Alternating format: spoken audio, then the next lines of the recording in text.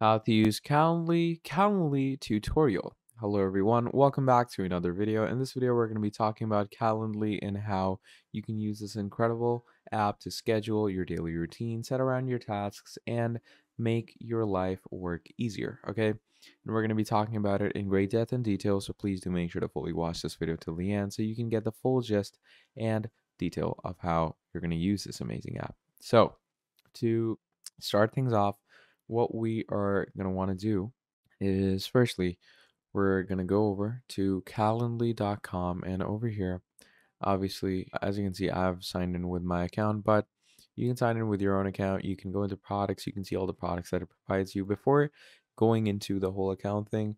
Uh, here are the plans for Calendly, and uh, you can see pick the perfect plan for your team. There's free, which is always free, obviously. Standard plan, which is $10 per seat per month. There's the team plan, which is $16 per seat per month. And then there's the enterprise plan, which is obviously the custom plan that you can add for yourself, however you want it to be. It has different core features as well, and it works like an absolute charm. So I'm going to go over overhead to my account. And once we go over to your account, obviously the setup and the sign up process is really easy. So you're going to be good with that. It's not going to give you an issue or anything. So once you set it up and signed everything up, uh, it's going to bring you here. And once you are over here, you have different uh, appointments and all. So, first of all, in Calendly, you have event types. Okay. And uh, you can create different event types over here.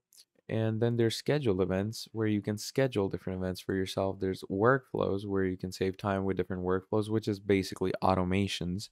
And then there's routing okay, routing or routing, however you want to call it, which is qualify and schedule meetings instantly for yourself using different applications or integrations, okay? So, right now let's come to event types, okay? And uh, let's create a new event type, okay? And let's go into the detail of what we're going to do with that. So, there's four different event types. One-on-one, which is obviously one host with one invitee. So it's good for coffee chats or one-on-one interviews or, you know, just one-on-one normal chat. Then there's group, one host uh, with group of invitees. So it's good for different webinars, online classes, etc. And obviously it's a group of people, so pretty incredible stuff. Then there's collective. Collective is more than one host with one invitee. So it's basically like uh, a panel of, uh, you know, employees and they're trying to sell a pitch to their boss. So that's collective. So it's a group sales call or something like that. And then there's round robin. So, you know, one rotating host with one invitee. So that's basically what you can do. Right now, I'm going to go with group. So let's say I'm one person and I want to present to all the people. Now, obviously, to go with the upper groups, you are going to want to go with the higher upper plans. For now, it only allows us to make one-on-one, so let's go with this. You know, event name, I'm going to call this coffee chat. Okay, I'm just going to call it coffee chat. Once you call it coffee chat, there's location. And in location, obviously, there's different things that you can go with.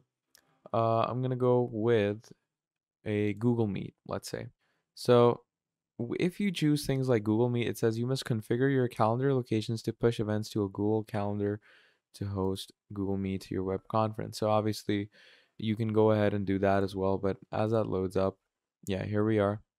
So uh, just go ahead and connect your Google Calendar to your Google Suite. I'm going to go with my Gmail account. And once you've gone with your certain Gmail account, click on Allow. And once we click on Allow, I'm just going to wait for things to load up. And once everything loads up, it's going to be pretty uh, easy and pretty uh, normal scaling from there on out. So once you're over here, it says add a calendar account. Okay. And uh, adding a calendar account, it's pretty uh, easy, pretty simple. And the reason you're adding a calendar account is so that they know that none of your events coincide with each other, right? Then you're going to give a description for this coffee chat that uh, in this chat, we're going to be talking about the new upcoming project or the new clients that we're going to land, etc., etc. So just write a summary about those. You're going to add an event link and everything should be good to go from there. Now, once you have done that, um, let's say right now I'm just going to add an in-person meeting or you can even add a phone call. So I will call my invitee. We're just going to do that. and you can also get an event link for the person. So I'm going to go with the color and I'm going to click on next. And once you click on next, this is the more in-depth demographic detail. So when can people actually book this event? 30 minute or 60 rolling calendar days. So the date range is setting a date range of dates when you can accept meetings. Invitees can actually schedule. There's uh, 60 calendar days into the future, or you can do 60 weekdays, whatever you want. So I'm going to go with 60 calendar days. In those, invitees can schedule uh, within a date range uh, of like this to this. Okay, just between this, nothing, nothing before, nothing after. Then you know, the duration of the meeting. Obviously, I'm going to go with 60 minutes because it needs to be a long meeting. How do you want to offer your availability for this type of event? Obviously, that totally depends on whatever type of uh, meeting or scheduled event you want to go with. And once you do that, then you have additional options as well. So first of all, there's invitee questions where you can ask the invitee's name, email, phone number, etc.